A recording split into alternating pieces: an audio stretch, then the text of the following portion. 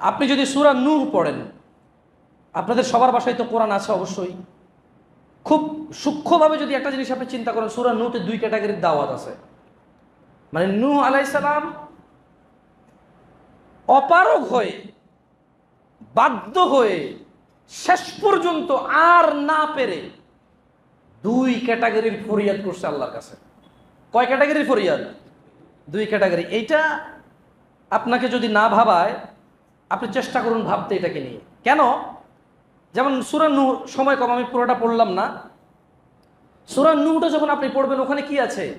যে নূ আলাইসাল্লাম তার জাতিকে রবের পক্ষ থেকে সতর্ককারী হিসেবে সতর্ক করেছে? হ্যাঁ এবং বলেছে, শোনো, আমার জাতি, আমি আল্লাহর পক্ষ থেকে সতর্ককারী। তোমরা ভালো হয়ে যাও, আজাব আসার আগে। আজাব আসার আগে কি হয়ে যাও? ভালো হয়ে যাও। তাহলে তোমাদেরকে আমার রব ক্ষমা করবে হ্যাঁ তোমাদের জন্য জান্নাত দিবে। এভাবে বলছে তিনি। বলার পরে ওনার জাতি মানলো না। তখন নূ আলাইসালাম আল্লাহর কাছে বলতেছে যে, হে আল্লাহ, আপনি তো জানেন আমি আমার জাতিকে প্রকাশ্যে দাওয়াত দিছি, গোপনে দাওয়াত দিছি। আমি আমার জাতিকে সবার সামনে দাওয়াত দিছি, একদম জোরে জোরে অ্যানাউন্স করছি, ওদেরকে কাছাকাছি গিয়ে কানে কানে করছি। কিন্তু আল্লাহ, আপনি এটাও জানেন, যখন তারা আমি আমি নূহকে যখন তারা দেখেছে, তারা আমার আমাকে এড়িয়ে চলার জন্য কম্বল ঢেকে ফেলছে মুখে। মুখ ফিরিয়ে নিছে, পালায়ে গেছে। আর আল্লাহ, আমি যত বেশি দাওয়াত দিছি এদেরকে, তারা তত বেশি আমার থেকে পালাইছে। এটা ছিল একটা ফরিয়াদ রাইট অ্যান্ড দেন এইরকম একটা সিচুয়েশনে যখন নূ আলাই সালামের দাওয়াতের মাঠ এইরকম একটা পর্যায়ে চলে গেছে, ওনার শত চেষ্টার পরে। ওনার উদারতার পরে, উনি রাতে এবং দিনে দাওয়াত করেছে চব্বিশ ঘণ্টা। এইরকম একটা পরিস্থিতিতে যখন লোকজন ওনার দিকে আসলো না এবং পলায়ন করল, তখন তিনি লোকজনকে একটা বিশাল একটা অফার করছে আল্লাহর পক্ষ থেকে। অফারটা আপনারা নেবেন? রাজি আছেন নিতে আপনারা? এটা এখনও চলমান। এই অফার নু আলাইসালাম তার জাতিকে করেছিল। ওনার জাতি নেয়নি। না নেওয়ার ফলে তিনি আরেকটা আবেদন আল্লাহর কাছে করেছে। ওই আবেদনটা ছিল কঠোর। ওই আবেদনটা সহজ ছিল না। আমাদের জন্য কিন্তু এখন সেম অবস্থা। নূ আলাইসালাম শেষ পর্যন্ত ওনার জাতিকে বলল যে, শোনো। ফাকুলতু অথপর বললেন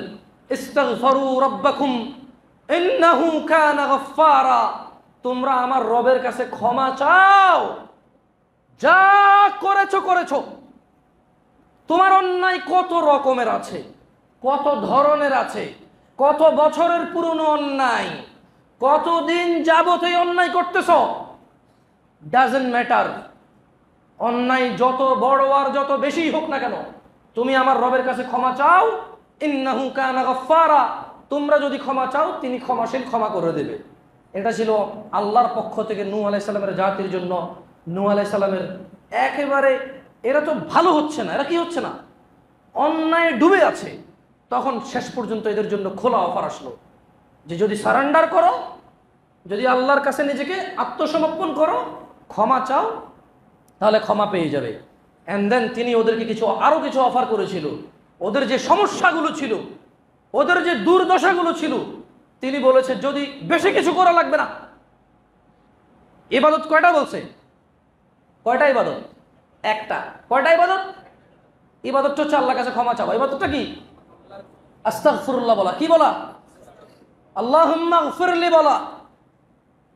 বলতে হবে, আল্লাহ আমাকে ক্ষমা করুন, শুধু এই কথাটা ইবাদত। শুধু এই কথাটা কি? নূ আলাই সালাম তিন রকমের ইবাদত দিয়ে তিনটা অফার করেননি। আজকের দিনেও আল্লাহ তাআলা মুহাম্মদ সাল্লাহ সাল্লামকে এই ওনার উম্মতকে এটা শিখিয়েছে। তিনটা আমলে তিনটা অফার করেননি। একটা আমলে সবগুলো অফার করেছে। কি? বললেন যে, যদি ক্ষমা চাও, ক্ষমা পাবা। তো ক্ষমা চাইলে আর কি পাবা?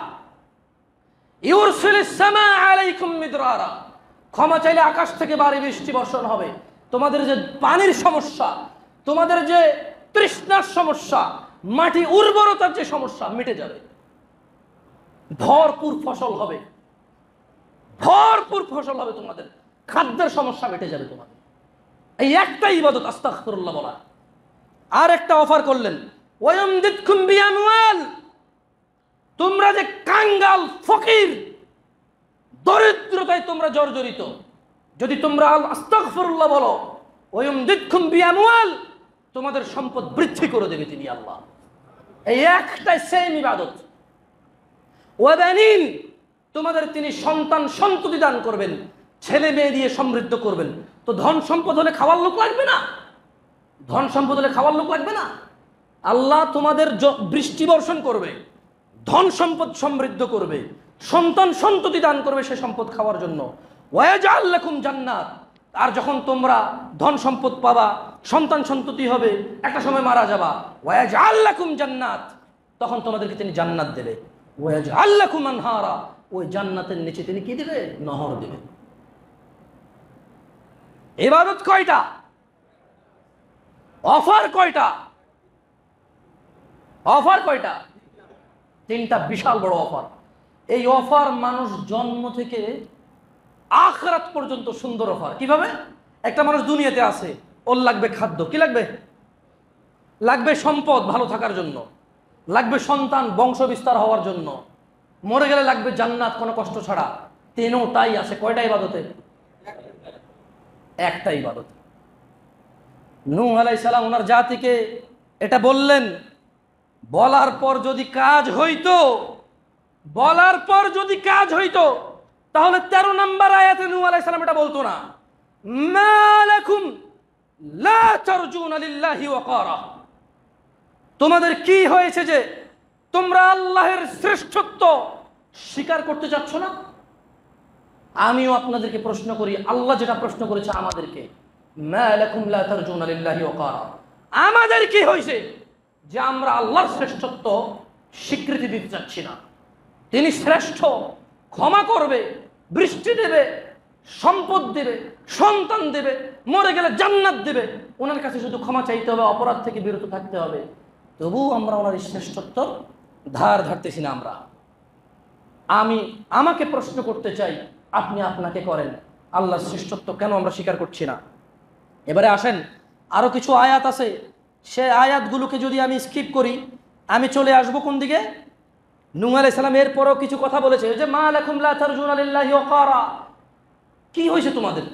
যে তোমরা আল্লাহর শ্রেষ্ঠত্ব স্বীকৃতি দিচ্ছ না? দেখছেন, এরা ইবাদত করে নাই রাইট আল্লাহকে মানে নাই রাইট এরা আলাই সালামকে দেখলে পালাইছে রাইট এরা আলাই সালামকে অমান্য করছে, অপমান করছে, অপদস্থ করছে, সব ঠিক আছে রাইট নুহ আলাই সালাম এরপর ওদেরকে ক্ষমার অফার করছে। কিন্তু যখন আল্লাহর পক্ষ থেকে ওই পুরস্কারের ঘোষণা তারা মেনে নিল না, এই সেম নু আলাইহিস সালাম বলতেছে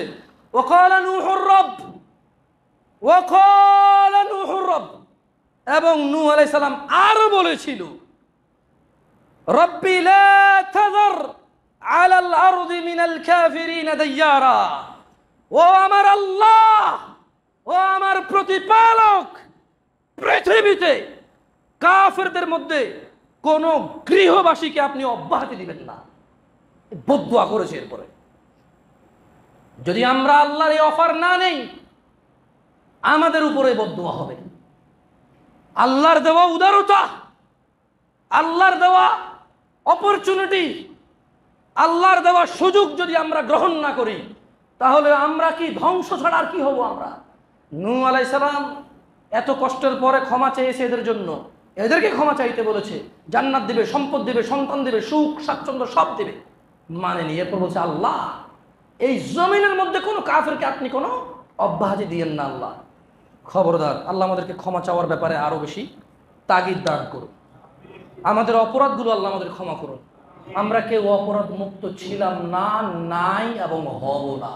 ইয়া আল্লাহ, তুমি আমাদের সৃষ্টি করেছ তোমার ইবাদতের জন্য। তুমি ভালো করে জানো আমরা কে কতটুকু করি? যতটুকু ছোট থেকে ছোট আমরা ইবাদত করি, তুমি সবগুলো বড় থেকে বড় করে কবুল করো। ইয়া আল্লাহ, তোমার কাছে আমাদের কোনো অপরাধ গোপন নেই। তুমি আমাদের অপরাধগুলো মার্জনা করে আমাদের উপর সন্তুষ্ট হয়ে যাও আল্লাহ। আল্লাহ, আমরা তোমার কাছে ক্ষমা চাই, তুমি ক্ষমাকারী। তুমি ছাড়া কেউ ক্ষমা করতে পারবে না। ইয়া আল্লাহ, তুমি বলেছ ক্ষমা চাইলে তুমি ক্ষমা করবে। আমরা তোমার কাছে ক্ষমা চাই, তুমি আমাদের ক্ষমা করো আল্লাহ। আকুল কৌলি হাদা ওস্তাফরুল্লাহ আলী সাহেব فاستغفروه إنه هو الغفور الرحيم. شو الله كسك خما استغفر الله.